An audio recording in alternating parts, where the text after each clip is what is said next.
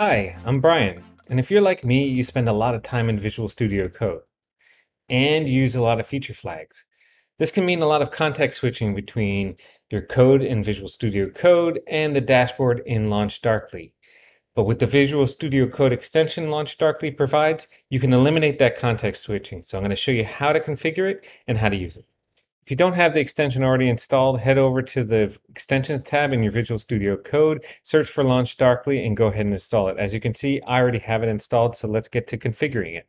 The extension requires an access token for the API. From the dashboard, go to Account Settings, then Authorization, and click Create Token. Give the token a name.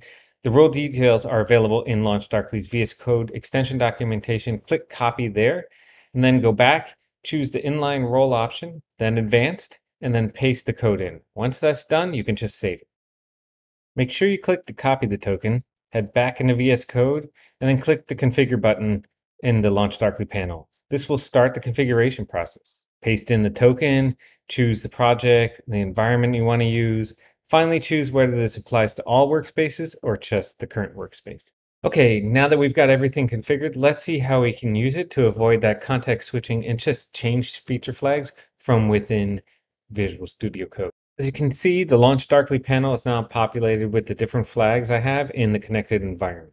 I can easily see what their status is.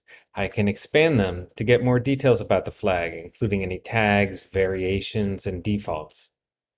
I can also click clipboard next to the flag to copy the flag key and paste it right into my code, which helps me avoid any typos.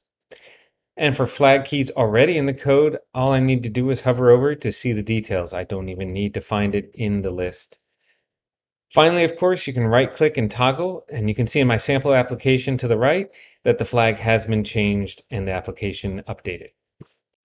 Well, that's all I've got for today. Now you can easily toggle flags from within your Visual Studio Code environment without ever having to leave. And this is really helpful during your development and testing. Uh, we've got more features planned for the Visual Studio Code extension, so look out for those. Thanks. Bye.